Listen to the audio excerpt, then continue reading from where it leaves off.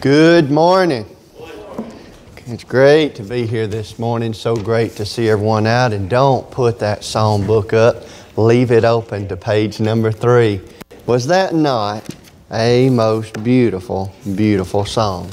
I, I absolutely love that song. I just wanted to get that plug in there before we get into our lesson. Don't put your song books up because that song is what we're going to talk about this morning. But again, it's great to be here. It's so great to see everyone out. I couldn't think of a better place in all the world to be than right here at the Lafayette Church of Christ. There are many songs that I know that you and I both sing, uh, and, and songs that we love. But when you think about songs that we love. I mean, can you think of one that uh, touches the hearts greater than the song that we just sang? How great thou art. What a beautiful song. And I, I mean, when you think about that song and, and you think about its greatness and its beauty. And it's, it's not just the melody that makes this song great, even though it's a, it's a song that just I mean, sends chills up and down our back. But, but again, it's not the melody of the song that, that should cause us to feel so good, but, but it's the very thought and the very idea of the song, meaning that this particular song is a wonderful song, one that uh, is truly, truly great. Oh Lord my God, when I an awesome wonder. When you think about that particular part of the song, it tells us the very purpose of this song. And what is the purpose of this song? The, the purpose of this song is for you and I to stop and to recognize what a true, great, wonderful, and awesome God that you and I serve. He is truly the greatest God that you and I have ever, ever known. In fact, throughout the Bible, His greatness is portrayed over and over and over again. And we're just going to look at a few verses. I began to look at the greatness of God, and, and there were so many verses that talked about His greatness. I've got them recorded and put back for a later date, but I couldn't help but share some of these verses that talk about how great He is. I love the passage that was read for us earlier talking about the greatness of God. But again, here in 1 Chronicles chapter 16 and verse 25, for the Lord is great and greatly to be praise. It doesn't stop there. What about 1 Chronicles 17 and verse 20? I love the way that the Bible says, There is none like you, O Lord. There is no God beside you, according to all that we have heard with our ears. There is no being, no one in all the world that you and I can compare to God. In fact, the Bible teaches us that He has no equal, none whatsoever. There's not a certain individual, there's not an entire group of individuals that you and I could sit over here and they would be equal to God. Isaiah chapter 40 and verse 25, God says, To whom then will you compare, compare me that I should be like them, says the Holy One. Lift up your eyes on high and see who created these. And, and He brings out their hosts by number, calling them by name, by the greatness of His might, and because He is strong in power, nothing is missing. God is such a great, great being. And if there has ever been a song that you and I have sang, one that we love, one that we appreciate, it's the song that we just sang, How Great Thou art. This particular song was written back in 1886. It was written by a Sweden minister by the name of Carl Boberg. Now, it initially began as a poem, but throughout time it evolved into a hymn. It wasn't until some 40 or 50 years later, if you'll look at your song book at the very top right hand corner, the name is Stuart, uh, Stuart Hine. This particular gentleman put the musical notes to this song, and it became a very popular song in the early 1950s, and since then, it is recognized as one of the most popular songs in the world today when it comes to religion and Christian worship. But I think what this song does is it brings out at least three different points that cause us to recognize the greatness of God. Now, don't get me wrong. There are many, many, many other points that we could bring out pointing out the greatness of God. Uh, the Bible is literally filled with verses that talk about His greatness. But in this particular song that we just sang this morning, and one that we sing so many times, and and if you could have just been up front to hear your voices singing that wonderful song and how beautiful it is, and, and the chills that literally go up my back when I hear my brethren sing these songs, and, and I'm with them and we sing this song. It's a wonderful, beautiful song. I think that there are at least three points that are brought out, though, in this song that point out the greatness of God. And the very first one is the fact that He is Creator. Look at stanza one. O Lord my God, when I in awesome wonder consider all the worlds thy hands have made. When you think about the world in which we live, and the many worlds that are believed to be out in our universe today, galaxies that exist, how did they get there? The Bible teaches us that God made them. He is the creator of every galaxy that exists in our world today. When you think about the galaxy in which you and I live, it's recognized as the Milky Way. The Milky Way is, is not only the galaxy wherein you and I find planet Earth and the sun and moon and all of those different planets, but, but if you'll note, it is a very large, a very large galaxy. Do you know how long it would take to get from here to here? Do you know the size of the galaxy in which you and I live? Do you? It's recognized as, as being or having the diameter of 100,000 light years. Now, how much is that? Light is said to travel at 186,000 miles per second. All right, you get a hold of that speed. 186,000 miles per second. If you could travel at that rate for 100,000 years, that's how long it would take you to get from one side to the other. That's, folks, that's a number that is far beyond my finite mind to be able to comprehend and understand. And how is it that that particular universe in which you and I live was formed and created? The Bible says in Jeremiah chapter 10 and verse 12, It is He who made the earth by His power, who established the world by His wisdom, and by His understanding He stretched out the heavens. It was God who literally spoke in this galaxy in which you and I live, and we have a difficult time comprehending it. He just caused it to come into existence. What an awesome God we have because He is the creator of this universe. But not only is He the creator, creator of the universe, look at the song continues on. The song says, if you'll note there in the latter part of stanza one, I see the stars. You think about all of the stars out in just our galaxy alone, just in the Milky Way. Isn't it beautiful to go outside on a beautiful, clear night and you look up in the sky and you see all of those stars? Well, folks, we haven't touched the hem of them. In our galaxy alone, astronomers say that there are approximately 100 billion stars. What if you had to number them, every one? Well, that would be a job, wouldn't it? If you got you a job, number, listen to me, you couldn't do it. You, you couldn't spend the rest of your life numbering the stars because just when you thought that you had them figured out, there would be others that would appear that you didn't see before. How would you keep track of them? You couldn't. There's no way possible that you could number the stars just in our galaxy alone, much less any of the other galaxies. And you know what I find so amazing?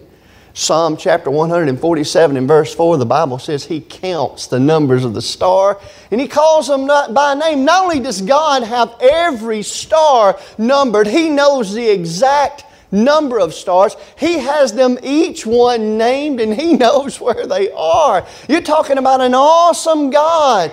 No wonder we say, How great Thou art. But not only is He the creator of the, the universe and the stars, think about the thunder. The song continues on I hear the rolling thunder. Now, folks, when you got thunder, you've got lightning. You're not going to have one without the other. If you hear a rumble of thunder, somewhere off in the distance, lightning has hit the ground. Lightning is a, a fascinating thing. Call me crazy, I love, as long as I can keep my distance from it now, I, I love to watch a, a storm, an electrical storm. It's just, a, it's, it's just a beautiful thing. I had some friends one time who would go out into a field and they would sit in an old car and, and they would watch it. I wouldn't go with them because I know that when lightning takes place, it's, it's going from the ground up. It's particles that are meeting. You've got negative particles that are coming down and positive particles that are going up from objects that are on the ground. And that, that vehicle could have been one of those objects. But nevertheless, when you have a flash of lightning, all around that bolt of lightning, the air is heated to 54,000 degrees Fahrenheit. Now, folks, that's six times hotter than the surface of the sun. And as that air is heated, it begins to immediately try to cool back down. And as a result of going back, trying to cool back down, there is a pop or a crack in the air, and that's the flash of lightning, and that's the pop that you hear. And then the rumble is going through that column wherein the lightning bolt goes down. And you think about a bolt of lightning and all of its awesome power. It's no wonder that the writer of this song would go on to say, when he talked about the rolling thunder, thy power throughout the universe is made. Why is that? It's because God is the one who is in control of thunder. I love the word word of, words of Job in Job 37, beginning in verse 2 Hear attentively the thunder of his voice and the rumbling that comes from his mouth. He sends it forth, the whole heaven, his lightning to the ends of the earth. After it, a voice roars. He thunders with his majestic, majestic voice, and he does not restrain them when his voice is heard. God thunders marvelously with his voice. He does great things which we cannot comprehend, for he says to the snow, Fall on the earth, likewise to the gentle rain rain and the heavy rain of His strength. Who is in control of that thunder and that lightning every time you see it? God is. I often think about the fact of when Jesus and His disciples were in a boat on the Sea of Galilee Matthew chapter 8, beginning about with verse 20 and going through about verse 27 and 28. And the Bible says there's a great tempest that arose on the sea. And I often wonder maybe there was thundering and maybe there was lightning. We know that the waves were leaping here and there and it was beginning to fill the boat. And they woke Jesus up and said, Lord, we're going to perish. Maybe we're going to be struck by lightning. Maybe we're going to drown. And the Lord stood up and said, Peace be still. And there was a calm like they had never seen. Don't you know at that moment, those disciples were thinking, How great thou art. You see, He's in control of all of that, brethren. What about the earth? There is something unique and interesting about that sphere upon which we live. Now, I love planet Earth because of the fact that that's what where God put me. But if you think about planet Earth, do you realize that not only did God make it, in the beginning, God created the heavens and the earth, but He made everything that is within it. Everything that you and I see in the world or on the earth today, it was put there by God Himself. Genesis 1 and verse 11. Then God said, Let the earth bring forth grass, the herb that yields seed, and the fruit that the fruit tree that yields fruit according to its kind, whose seed is in itself on the earth. And it was so. God not only created this earth upon which you and I live, but He created everything that you and I see. Think about some of the things that the song makes mention of woods and forest glades. It is said, according to the history of the writing of this particular song, that, that Mr. Carl uh, Boberg, he was walking along, he was going from worship services one day, and he was going through the forest and he was going through the woods, and, and he began to recognize its great beauty. Folks, there's, there's another reason why I love to hunt. It's not just because of the harvest that I get, just being in the woods, that, that there is a peacefulness um, there is a feeling that you get when you're out there and you look around and you recognize that none of this got here on its own. It was all put here by God. What about the birds singing sweetly? Oh, how, how, sweet it is to sit and to watch those little birds fly down and to begin to sing such a sweet song on a tree. And, and, and you wonder, who put that song in that bird? You know, folks, it was God Almighty. The song goes on to talk about lofty mountain grandeur. Maybe some of you have been to places like the Grand Canyon or, or the Smoky Mountains or, or, or some place that you were able to look out over the valleys beneath. And, and, and you have to conclude who made this? God did. I remember a few years ago, Kelly and I and the children, we went to, we went to Gatlinburg to, to, to take a vacation. And, and the place where we stayed, we'd never been there before. And we, we we, we went to this, this condo and we got there and we walked out on the balcony and there was just the most beautiful scene. And, and, and me and, and the girls were standing there. And then Andrew came out and, and I picked him up and I said, Look at there, buddy. I said, Ain't God good? I said, Ain't. I'm sorry. I should have said, Isn't. But I wanted him to know that, that God was the one who had made that. And when you and I have the opportunity to see such visions of beauty, know that God made it. What about the sound of the brook? A brook that is just trickling slowly by, and you can hear the water spilling. Oh, what a peaceful and, and serene sound that is and, and just a gentle breeze. Maybe it's coming through the woods. Maybe it's coming off of that brook. Maybe it's coming up from that lofty grandeur. But all of that, who put it there? God did. He is the creator of any and everything that you and I know today. And I love the writer of the Hebrews in the book of Hebrews, chapter 11, in verse 3. By faith we understand that the worlds were framed. How? By the Word of God. Can you imagine everything that you and I know? That exists in our world today that, that is of any use, we have to make it with our hands. Everyone who came here this morning in a vehicle, someone had to take it together and take their hands and put that vehicle together. The house you live in, it didn't just jump together, someone built it. But this world in which we live, planet Earth, the Milky Way galaxy that we just made mention of, God simply spoke and it came to be. That's the God that you and I serve. And therefore, folks, we ought to conclude how great God is because He's the creator of everything that you and I know. But not only is God the creator of everything we know, He is our Savior. I get lost sometimes thinking about how that He is the creator uh, of, of, everything around me. You know, you think about this world, you, you, you, see pictures of planet Earth, you see pictures of the Milky Way galaxy and in nature and so forth. And, and, and though we may step back and say, man, that's just awesome, that's not His greatest creation. You see, you are. You are by far God's greatest creation. Man, after He had created everything that He made the earth and the seas and the land and the trees and all the animals he said to the Son and the Holy Spirit, Let us make man in our own image. And in verse 27 of Genesis 1, so God created man in his own image. In the image of God created him, male and female created he them. And I think it's very interesting, and you read the text to see if I'm not right on this, that throughout that text in Genesis chapter 1, every time God created something, he'd say, It is good.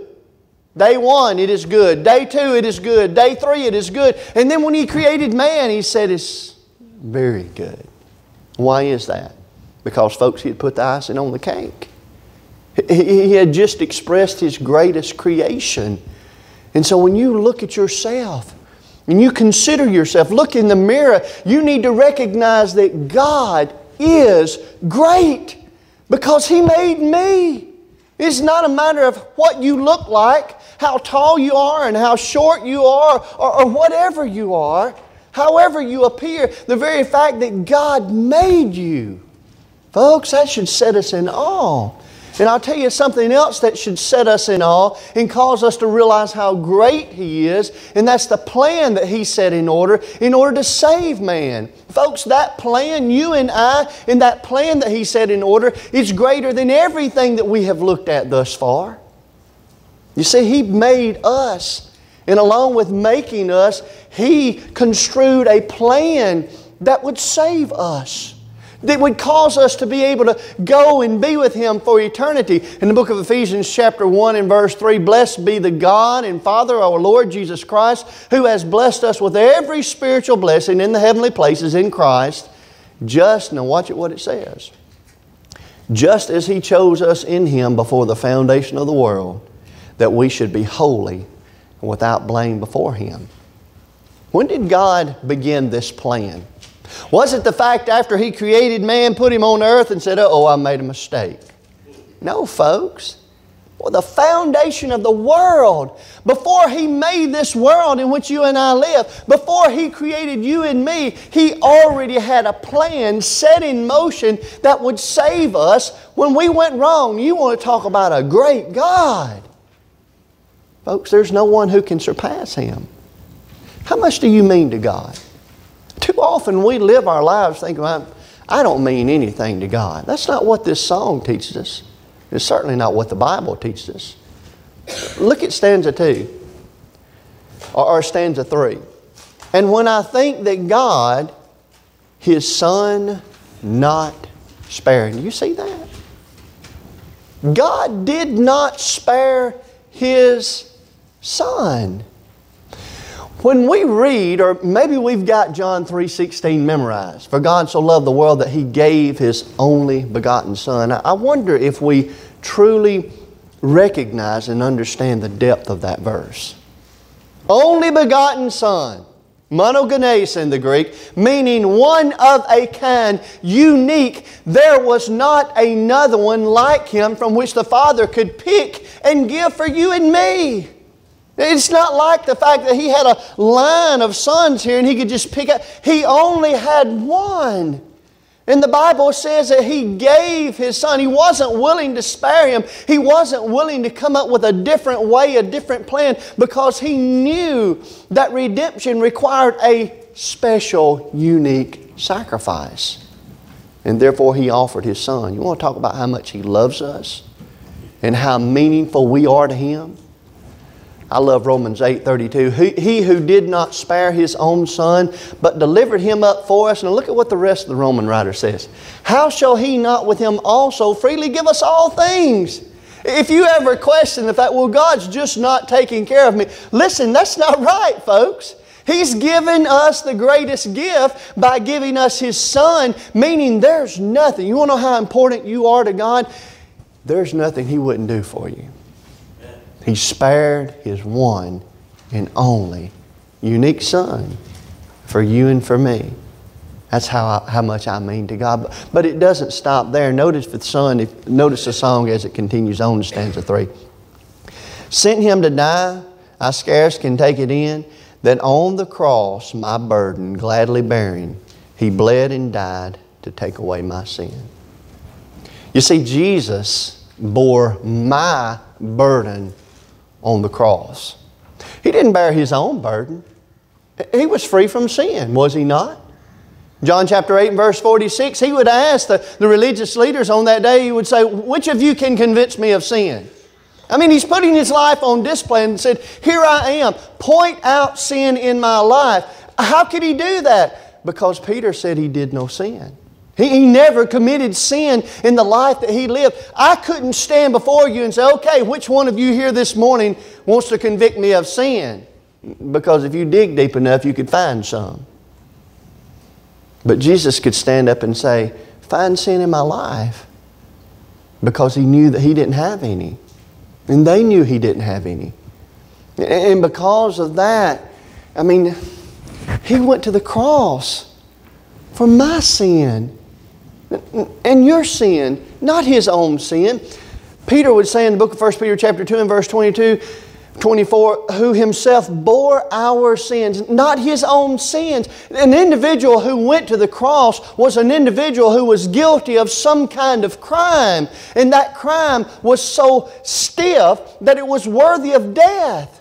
And Jesus didn't go to the cross for his own sins. He didn't go to the cross for something that he had done wrong, but he went to the cross because of something that you and I had done wrong. We had given into sin. And he bore his bore in his own body our sins on that tree that we having died to sins might live for righteousness by whose stripes you were healed. You see, Jesus, who did not know sin, became sin so that you and I could be righteous. What an awesome, awesome God. How great He is. To go to the cross for something that, that listen, I deserve to be on that cross. And, and you deserve to be on that cross. And all of us deserve to be on that cross. He did not. And He went there for us. You want to talk about a great God? And you know what's so fascinating? That He went with joy. I love the Hebrew writer in Hebrews chapter 12 and verse 4 looking to Jesus, the author and finisher of our faith, who for the joy that was set before him endured the cross, despising the shame, and is sat down at the right hand of the throne of God. He went to the cross with joy. How is that? He knew what that effort was going to accomplish. His plan having you and me in heaven with Him someday. You see, that's the God that you and I serve. He went to the cross with joy so that we could have forgiveness of sins. 1 John chapter 2 and verse 2, and He Himself is the propitiation for our sins, and not for ours only, but also for the sins of the whole world. God is great because He is our Savior, and He went to the cross for you and for me. But God is great because of the return of Jesus. Throughout the Bible, we are given the commands or we have given the promise that Jesus is coming back. In John chapter 14, beginning in verse 1, he knew that his disciples were troubled because he had just told them, I am going to have to leave you. And he says to them, Don't let your heart be troubled. You believe in God, believe also in me. In my Father's house are many mansions. If it were not so, I would have told you.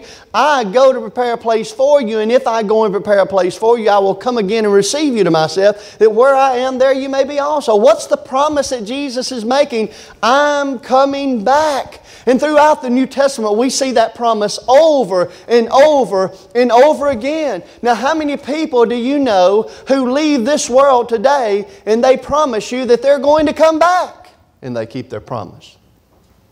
You can't do it. Not without this man. But because of the fact that this man was resurrected from the grave, it gives me hope that someday I can be resurrected from the grave. But only a God of supreme power could say, I'm coming back. And He is going to come back. Right now, He is making ready heaven for you and for me. And someday He's going to come back. And when He comes back at the return of Jesus Christ, the, the, the, song says, note if you will, that there will be a shout of acclamation. Look at stanza 4. When Christ shall come with shout of acclamation. What does the word acclamation mean? It refers to a shout of victory and approval. If there's something that you and I often seek in this life, it's the approval of other people. And we don't always get it, do we? Simply because of the fact that you can't please everyone. You can try as you may, be the best person you can possibly be, and there's going to be someone who will not approve of you and your actions. But good people, that'll never happen with God. When Jesus comes back, if I have been living faithful to the Lord, doing my very best, giving my all, then I will hear those wonderful words proclaim, Well done, thou good and faithful servant. And that's what I look forward to. And, and when you think about the, the very fact that He has the power to look down upon me, a sinner who fails Him quite often, and to say, I approve of you because you are giving your best, what an awesome God He is. 1 Thessalonians chapter 4 and verse 16, For the Lord Himself will descend from heaven with a shout, with the voice of the archangel and the trump of God, and the dead in Christ will rise first. Then we who are alive and remain will be caught up together with them in the clouds to meet the Lord in the air, and thus we shall always be with the Lord. What a blessed occasion that's going to be. And that proclamation to be able to hear, Well done, how awesome that's going to be. I mean, we are going to be, at that moment, we are going to be ushered into the heaven, ushered into the very presence of God. And folks, we can't look at the entire chapter of Revelation, chapter 21, but just take a gander at verse 4. We're going to be in a place where we're going to be with God. We're going to be with the Father. We're going to be with the Son. We're going to be with the Holy Spirit. God's going to wipe away every tear from our eyes. There will be no more death, no sorrow, no crying, no pain. All of those bad things that you and I know in this life are gone. Now, you name another being who has the power to do that. There is none. But God has that great power. But not only is the return of Jesus going to be an occasion of acclamation, But the return of Jesus is also going to be a time of adoration. N- note the song as it continues on. And take me home, this is the latter part of, of stanza four. What joy shall fill my heart? Then I shall bow in humble adoration and there proclaim, My God, how great thou art. Every Lord's Day, we come together for the purpose of adoration. We're here this morning because we have God in adoration. What does that mean? Someone who had, or what does the word adoration mean? It refers to an individual who is giving worship or, or gratitude to another because of great deeds in their lives. And that's what we do each Lord's Day. We come together to give God adoration. We come together to thank Him, to, to praise Him, to worship Him because of everything that He has done. And, and, and, that's the reason that everyone who is here this morning, my, my prayer is that's why you're here. But in heaven, good people, oh, never before will we ever experience worship and praise and fellowship that we will experience there in the book of Revelation, chapter 7, beginning in verse 9, after these things I looked, and behold, great multitude which no one could number. Of all the nations, tribes, peoples, and tongues standing before the throne and before the Lamb, clothed with white robes, with palm branches in their hands, and crying out of a loud voice, saying, Salvation belongs to our God who sits on the throne and to the Lamb. All the angels stood around the throne, and the elders and the four living creatures fell on their faces before the throne and worshiped God, saying, Amen. Blessing and glory and wisdom, thanksgiving and honor and power and might be to our God forever and ever.